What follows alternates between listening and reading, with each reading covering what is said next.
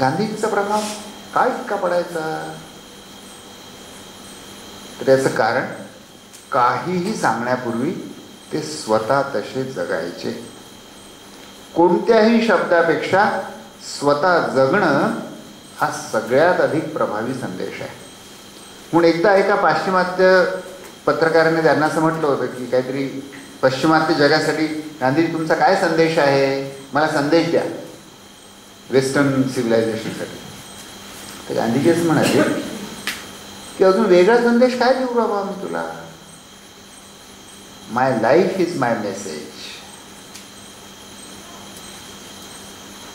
मला अजून दुसरा कोणीही माणूस जगाच्या इतिहासात माहीत नाही की जो असं म्हणू शकेल की माझं जगणं हाच माझा संदेश आहे वेगळा माझा काही संदेशच नाही. तर इथे शिक्षणाची कल्पना अशी होती. की मुलांनी स्वतः नियमित जीवन जगता जगता शिकायचं. तर मग रोज सकाळी आम्ही शेतीत काम करायचो. हे ग्रामीण भागात होतं त्यामुळे शेती रोज तीन तास शेतीत काम करायचं. शेतीचं प्लॅनिंग करायचं पण त्याच्यातनं विज्ञानही शिकायचं. मग झाडं लावायची मग झाडं कशी वाढतात त्यातनं बॉटनी शिकायची. झाडांना खत काय लागतं त्याच्यातनं केमिस्ट्री शिकायची. त्या झाडाचं पिकाचं काय करणार? अन्नधान्य त्याच्यातनं बाजारशास्त्र शिकायचं इकॉनॉमिक्स शिकायचं. मग ते अन्नाचं काय करणार? संपाक करून खाणार. मग संपाक करा. मग आमची संपाक घरात ड्युटी लागायची. तुम्हाला आश्चर्य वाटेल माझी सातवीची जी वार्षिक परीक्षा आहे त्या शाळेमध्ये त्याच्यातला एक भाग हा होता की स्वयंपाकघरामध्ये जाऊन त्यावेळी मेस होती आम्ही. शाळेतल्या सगळ्या मुलांसाठी दिवसभराचा स्वयंपाक प्लॅन करायचा. त्याचं बजेट आम्हाला दिलं होतं. त्या बजेटमध्ये स्वयंपाक प्लॅन करा. तो स्वयंपाक न्यूट्रिशनली अतिशय बरोबर असला पाहिजे. म्हणून न्यूट्रिशन सायन्सची पुस्तकं जी नंतर मी एम डीमध्ये वाचली ती त्यावेळी मी सातवीत वाचली. आणि ती वाचून व्हिटॅमिन ए किती असतं आणि व्हिटॅमिन सी किती असतं आणि प्रोटीन किती असतं हे वाचून वाचून मेनू बनवायचा. तो आणि नुसता मेनू बनवून नाही स्वयंपाक करायचा तयार करायचा. तो लोकांना वाढायचा आणि वाढून सगळ्यांचं जेवण झालं की भांडी घासायची.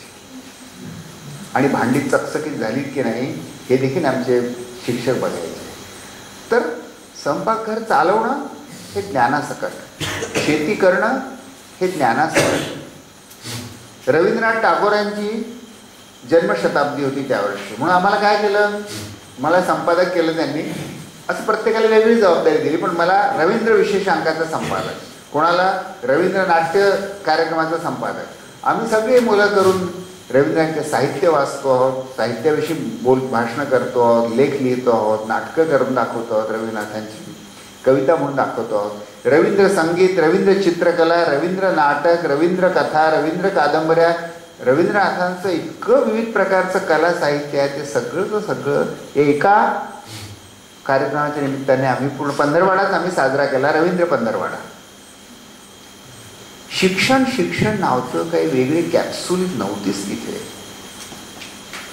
सुंदर जगा प्रॉडक्टिव्ह जगा त्याच्यासोबत ज्ञान जोडा त्याच्यासोबत आनंद जोडा आणि अख्खं लाईफ तयार झालं जीवनच तयार झालं ते म्हणजे शिक्षण. ती शाळा म्हणजे एक निव्वळ सांगतो मी शिक्षणाचं काय पॅराडाईज होतं.